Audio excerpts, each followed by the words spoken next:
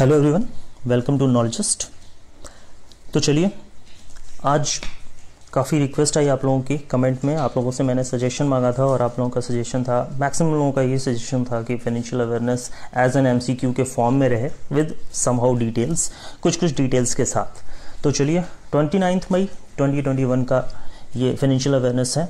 इसमें देखेंगे कुछ क्वेश्चंस और उनसे रिलेटेड कुछ टॉपिक्स तो चलिए शुरू करते हैं। नमस्कार दोस्तों, मैं हूँ सौरभ पांडे। आप मुझे इंस्टाग्राम पर मेरे फॉलो कर सकते हैं, सौरभ पांडे ऑफिशियल से, और साथ ही साथ आप मुझे टेलीग्राम पे भी फॉलो कर सकते हैं, सौरभ पांडे ऑफिशियल से। वहाँ सर्च करके आप ज्वाइन कर सकते हैं, जहाँ पर मेरे हर लेक्चर की पीडीएफ आपको अवेलेबल हो जाएगी।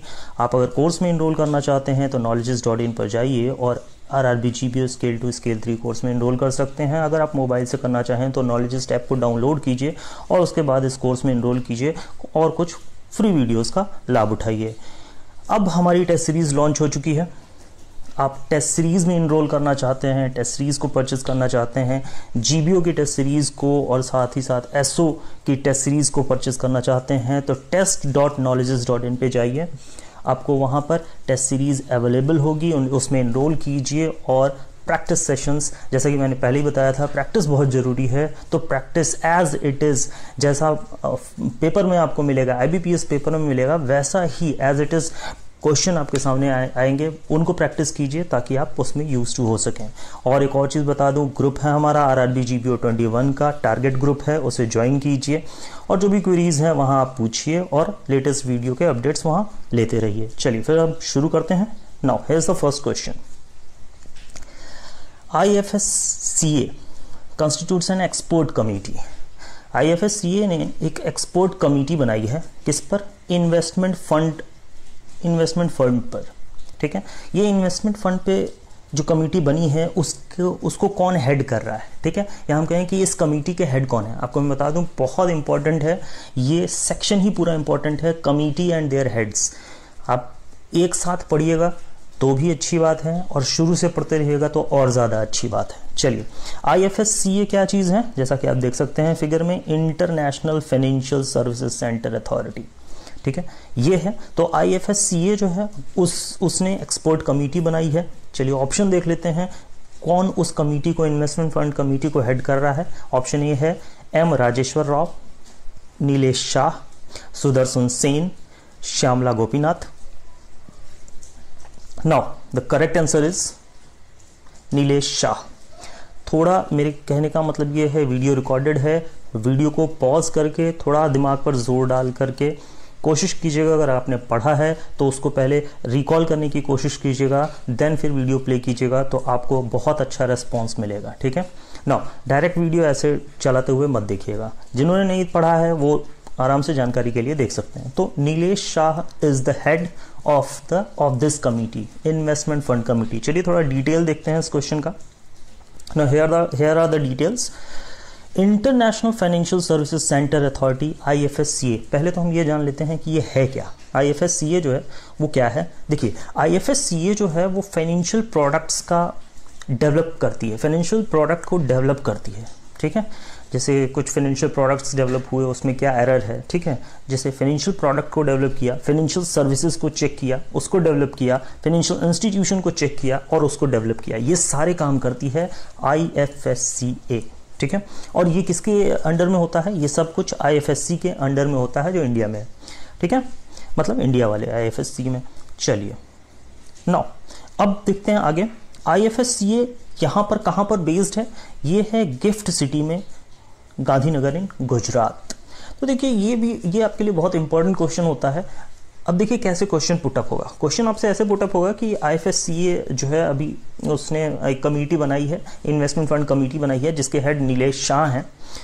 तो ये बताइए कि I F S C I F S C situated कहाँ है? तो आपको कुछ भी पूछ सकता है, गुजरात में है हाँ गुजरात में है, महाराष्ट्र में है, वगैरह वगैरह। एक और क्वेश्चन हो सकता है गिफ्ट सिटी में है या कहीं और। इस तरह के क्वेश्चंस बनेंगे आपके। तो ये चीज़ आपको याद रखनी चाहिए। That was one of the important point एक और चीज़ देखिए चेयरमैन जो हम, जो इसको हेड कर रहे हैं, इस कमेटी को, नीलेश शाह, वो क्या है? वो अभी एमडी हैं, कोटक महिंद्रा के, ठीक है? जो एसेट मैनेजमेंट कंपनी लिमिटेड मतलब M Kotak Mahindra asset management company limited के अभी वो एमडी हैं, मैनेजिंग डायरेक्टर हैं, ठीक है?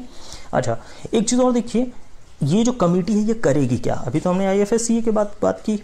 ना ये कमेटी क्या करेगी? ये देखेगी कि जो इन्वेस्टमेंट फंड्स हैं, ठीक है, उनके क्या बेस्ट प्रैक्टिसेस हो सकते हैं, ठीक है?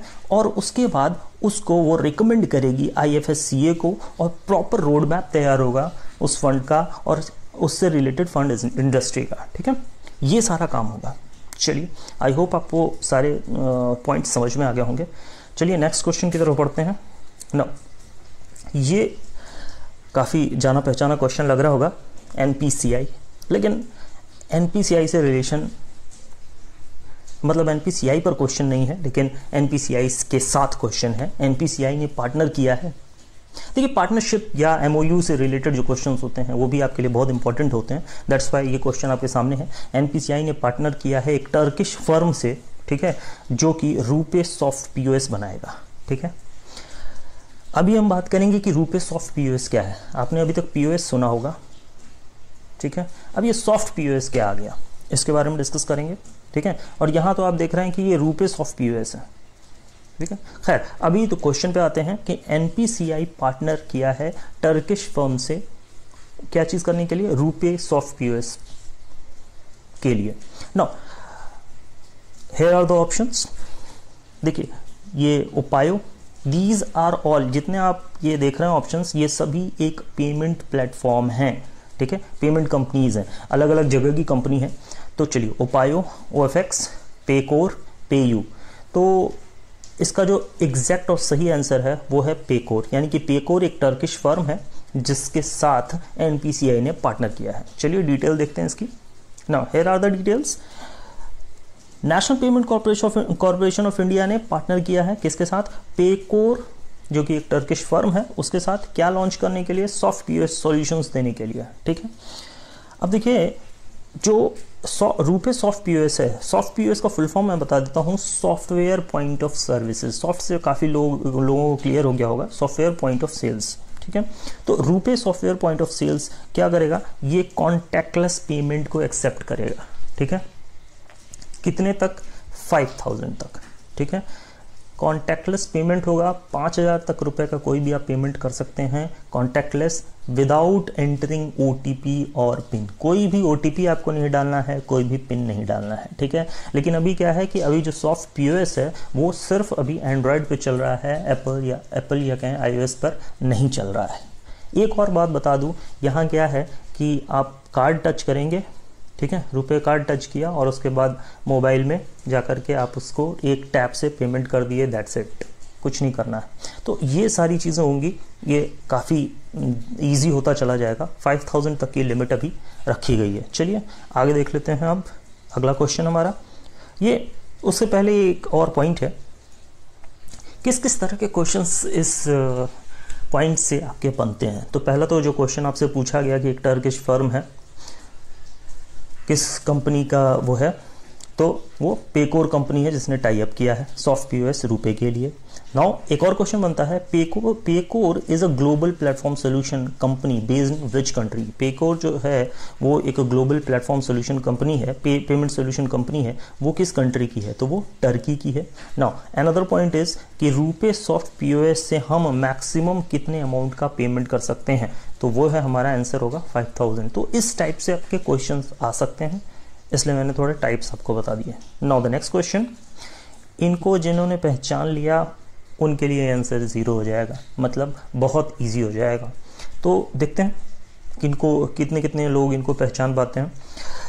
Who is appointed as CEO of R B I innovation hub जी हाँ R B I innovation hub एक एक, कह सकते हैं, एक ये भी सेक्टर है आर बी आई का। तो R B I innovation hub के सीईओ किसे बनाया गया है? Now T Ravishankar Rajesh Bansal BP Kanungo या एन एस विश्वनाथन नाउ ये टी रवि शंकर हैं, राजेश बंसल हैं, बीपी कनुंगो हैं, या एन एस विश्वनाथन हैं। तो देखिए, इसका जो सही आंसर है वो है राजेश बंसल। ठीक है? राजेश बंसल जो है, वो बनाए गए हैं सीईओ किसके? आरबीआई इनोवेशन हब के। तो चलिए इसकी डिटेल्स देख लेते हैं। Here are the details Rajesh Bansal takes charge as CEO of RBI innovation hub देखिए, इसका फुल फॉर्म आपसे पूछ सकता है। आरबीआई एच दे देगा और पूछेगा एच स्टैंड फॉर या आई स्टैंड फॉर ठीक है? तो रिज़र्व बैंक इनोवेशन हब ठीक है? तो ये याद रखिएगा, ये आपके लिए बहुत इंपॉर्टेंट एक शॉर्ट फॉर्म है। चलिए तो RBI H has appointed Rajesh Bansal as chief executive officer ठीक है? आरबीआई, ये कब इफ़ेक्ट होंगे? मतलब ये कब से अपना पदभार संभालेंगे? तो 17 मई 2021 से ये अपना पदभार संभालेंगे, ठीक है? ना राजेश बंसल के बारे में कुछ जान लेते हैं। बंसल जी जो है, वो पहले फाउंडिंग टीम में थे आधार के, ठीक है? आधार की जो टीम बनी थी, उसमें फाउंडिंग टीम में ये थे, ठीक है? फिर जो टेक्नोलॉजीज़ होती हैं आरबीआई की टेक्नोलॉजिकल एरियाज़ होते हैं, उन्हों, उनमें भी ये रहे हैं। जो फाइनेंशियल इंक्लूजन हुआ उसमें भी ये पार्टिसिपेट कर चुके हैं और पेमेंट सिस्टम्स में भी पार्टिसिपेट कर कर चुके हैं। तो आपको समझ में आ रहा होगा कि कितने इंपॉर्टेंट व्यक्ति हैं। इसलिए राजेश बंसल जी को CEO of RBI innovation hub बना दिया गया। चलिए now now another question is State Bank of India ने पार्टनर किया है किस कंपनी के साथ AI powered online account opening की सुविधा देने के लिए इस कोविड की स्थिति में? चलिए, अब हम ऑप्शन देख लेते हैं। हाइपरवर्च टेम्पस एसेंट नेविडा एक और चीज़ बता दूँ, ये जितनी कंपनीज़ आप देख रहे हैं, ये सभी एआई पावर्ड यानी कि आर्टिफिशियल इंटेलिजेंस बेस्ड कंपनी है, ठीक है? ये सभी ये सारी सुविधाएँ प्रोवाइड करती हैं। तो फिर आंसर क्या है? आंसर है आपका ए हाइपरवर्ज हाइपरवर्ज एक एआई पावर्ड स्टार्टअप कंपनी है, जिसने ये एस के साथ टाइप किया है। चलिए इसकी डिटेल देख लेते हैं। Now here are the details HyperVerge the A product startup has partnered इसने पार्टनर किया है एसबीआई के साथ पार्टनर किया है। किस लिए? वीडियो बैंकिंग सॉल्यूशन देने के लिए, ठीक है? इससे होगा क्या? ये सारी डिजिटल बैंकिंग सर्विसेज़ एसबीआई इसके थ्रू यानी कि हाइपरवर्ज के थ्रू अपने कस्टमर्स को दे पाएगा और काफ़ी कन्वीनियंस प्रोवाइड कर पाएगा। एक और सुविधा क्या हो जाएगी कि वीडियो बैंकिंग प्रोसेस के थ्रू जो है वो आराम से के हो जाएगी। ठीक है? और मिनिमम आईडीज डॉक्यूमेंट्स लगेंगे और साथ ही साथ अकाउंट भी ओपन हो जाएगा बैठे बैठे इस सुविधा को देने के लिए, ये सारी सुविधाओं को और सारी कन्वीनियंस को देने के लिए एसबीआई ने हाइपर वर्च नाम के ए आई पावर्ड या कहें ए आई प्रोडक्ट स्टार्टअप से टाइप किया है। चलिए नाउ द नेक्स्ट पॉइंट यानी कि नेक्स्ट क्वेश्चन हमारा क्या बनता है? अभी हाल ही में development institute for development and research in banking technology D R B T इसने जो है वो नाडी को बिल्ड किया है। ठीक है? अब देखते हैं नाडी क्या करता है। नाडी देखिए क्या करता है। NADI it would provide a road map NADI जो है वो एक रोड मैप देता है। किस लिए? Future digital financial services future में कैसी डिजिटल फाइनेंशियल सर्विसेज़ होनी चाहिए और क्या क्या हमें सुविधाएँ देनी चाहिए और क्या क्या डेवलपमेंट करना चाहिए ताकि भारत में जो डिजिटल सर्विसेज़ हों और वो बढ़िया हो सके डिजिटल फाइनेंशियल सर्विसेज़ और बढ़िया हो सके, ये सारी चीज़ें नाडी करता है। नाउ तो नाडी का फुल फॉर्म क्या हुआ? देखिए ऑप्शन बताते हैं आपको हम। National digital financial institution okay national digital facility infrastructure national development financial infrastructure ठीक है? नेशनल डिजिटल फाइनेंशियल इंफ्रास्ट्रक्चर एक चीज़ और बता दूँ मैं। जैसे जैसे मैं क्वेश्चन पुटअप करता जा रहा हूँ, ईमानदारी से अपने कमेंट में आपने इसका क्या सही आंसर लगाया, आपने इसका क्या सही जवाब सोचा, वो ईमानदारी से कमेंट में बताते चलिएगा कि मैंने इसका ये आंसर सोचा था, ठीक है? उससे आपको ज़्यादा फ़ायदा होगा। आप जब भी देखोगे तो आप उसे अपना करेक्शन करते रहोगे। चलिए तो जितना आप इसमें इंगेज करोगे अपने आप को, उतना ज़्यादा आपको ये चीज़ याद होने वाली है। एक बार देखा और हटा दिया तो फिर ये याद नहीं होगा, ठीक है? नाउ इसका जवाब है नेशनल डिजिटल फाइनेंशियल इंफ्रास्ट्रक्चर ठीक इसी तरह के ऑप्शंस आएँगे, बहुत क्लोज ऑप्शंस होंगे। तो इसलिए मैं कहूँगा आपको कि बहुत बढ़िया से पढ़िए। एक चीज़, हर एक चीज़ को बारीकी से समझिए, ठीक है? नाउ आंसर क्या है? नेशनल डिजिटल फाइनेंशियल इंफ्रास्ट्रक्चर नाडी का फुल फॉर्म होता है नेशनल डिजिटल फाइनेंशियल इंफ्रास्ट्रक्चर चलिए इसके कुछ डिटेल्स देख लेते हैं।